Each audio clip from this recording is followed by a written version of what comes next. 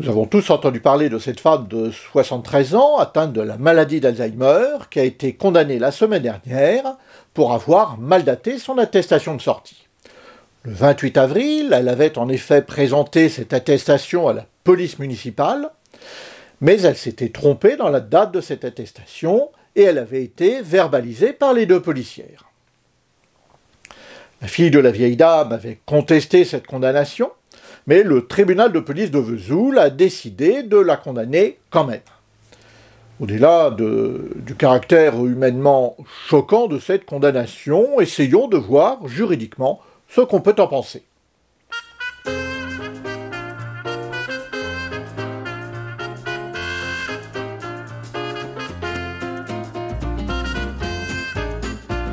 Le principe, c'est que nous sommes tous responsables de nos actes. C'est normal, il n'y a pas de raison que nous échappions aux conséquences de nos comportements.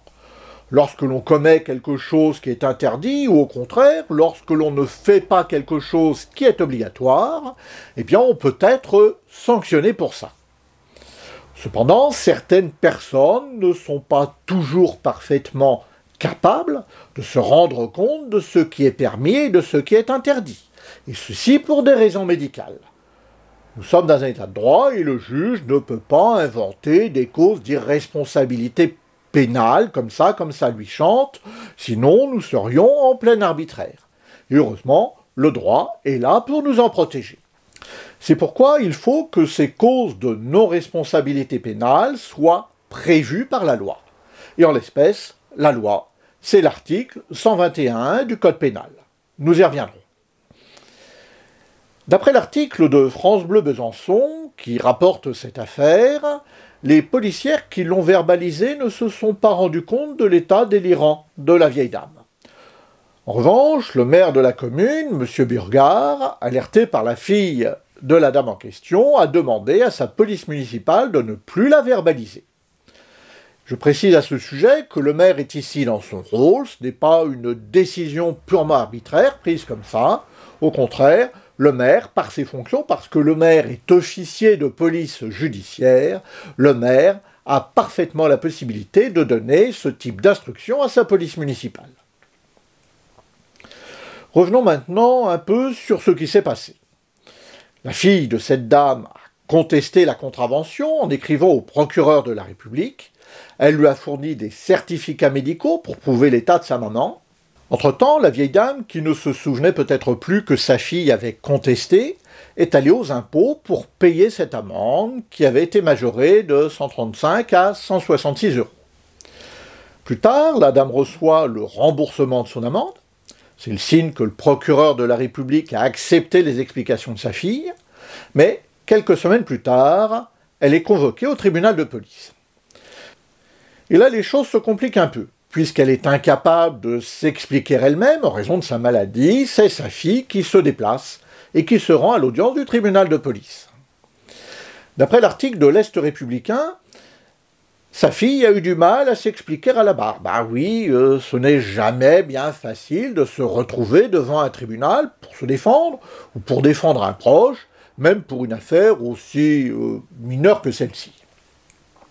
Quoi qu'il en soit, le procureur de la République ne requiert aucune peine et s'en remet à la sagesse du tribunal.